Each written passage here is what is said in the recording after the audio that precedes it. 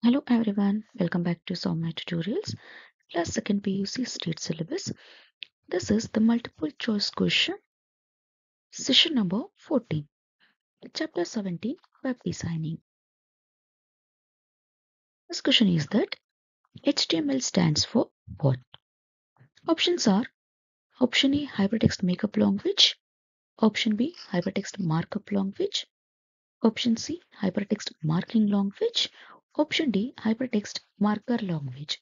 So all of these options, the correct option it is HTML stands for option B hypertext markup language. So hypertext markup language it is a language which is used for creating the web pages. Next question choose the correct HTML tag to make the text bold. Options are option A within an angle bracket bold option B within angle bracket double B, option C within an angle bracket just only B, then option D BLD within an angle bracket. So correct option it is a angle bracket B. This tag which is used for to make the text bold. Next question. A web form contains what? Option A text field, option B radio button, option C checkbox. Option D, all of these. So correct option it is all of these because a web form it contains all of these like an text field, radio button, checkbox, menu box or anything else. So that the correct option it is all of these. Next question. DHTML stands for what? Options are dynamic hypertext markup language. Option B, domain hypertext markup language. Option C, domestic hypertext markup language. Option D, data hypertext markup language. So correct option it is the DHTML stands for so dynamic hypertext markup language. Already we know that the what is an HTML expansion. So D for the dynamic. So that the HTML it is dynamic hypertext markup language. Next question. XML stands for what? Options are extended markup language. Option B, extended markup language. Option C, extension markup language. Option D, extension markup language. So correct option it is option A, extended markup language.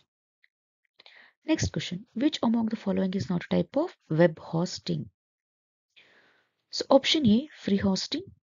Option B, virtual hosting. Option C, non-dedicated hosting. Option D, colocation hosting. So here the correct option it is non-dedicated hosting is not a type of the web hosting. So all of these the options which are the free hosting, virtual hosting, colocation hosting, these are all the type of an a web hosting and dedicated hosting is also in a type of an web hosting.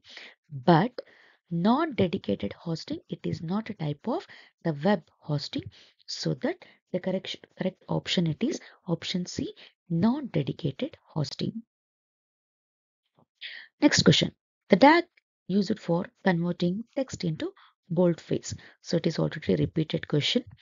So option b. So with an angle bracket with this tag which is used for converting any text into the boldface Next question. The tag is used for underlining the text. So options are option A, angle bracket B, option B, angle bracket U, option C, angle bracket I, option D, angle bracket P. So U, the correct option it is angle bracket U. It is the tag is used for underlining the text. Next question. The tag which is used to resize the text.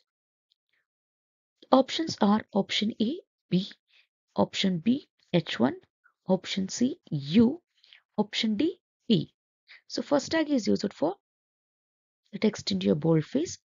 The second tag it is an a resizing text tag H1 is an highest font size and H6 it is the lowest font size.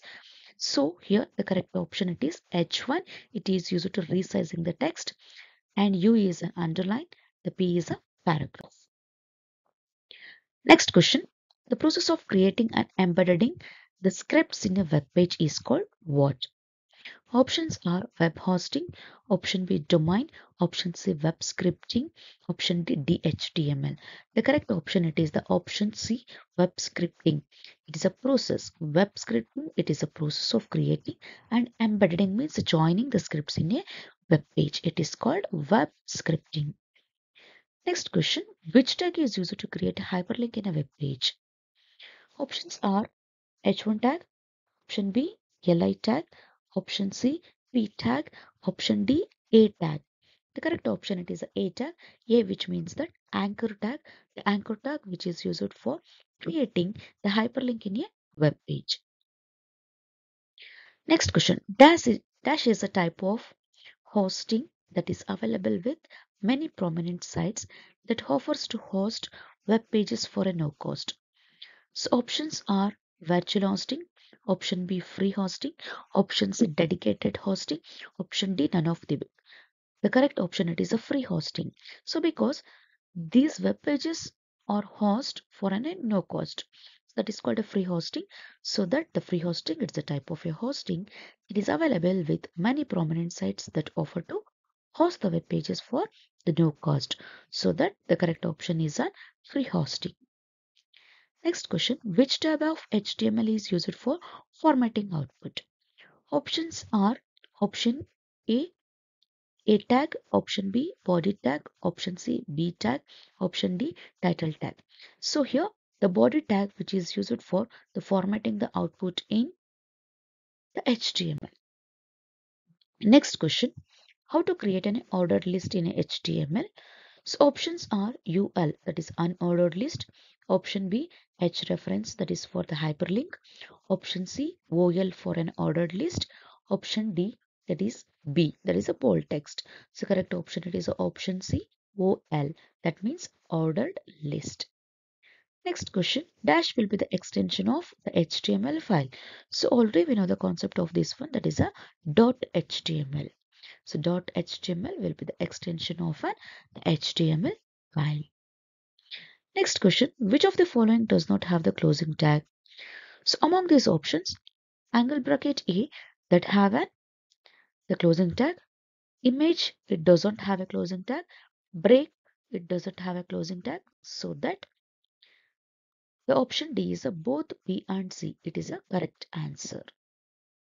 Next question, which of the following is not a table tag? So options are table and TD tag and tn tag and tr tag. So among these options, tn it is not in a table tag because the table it is a table tag is present in the table.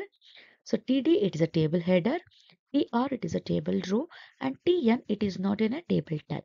So that the correct option it is tn. Thank you so much.